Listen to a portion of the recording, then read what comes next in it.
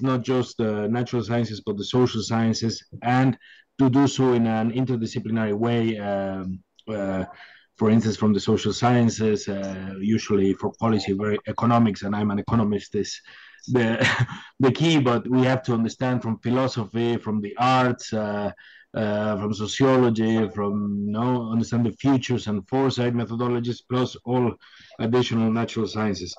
And this requires, uh, it's important to transform this, the science ecosystem. And UNESCO's 2017 recommendation on science and scientific researchers does precisely, seeks to precisely do that, providing a vision of science that goes beyond growth, productivity, and emphasizes well-being, human well-being and inclusion.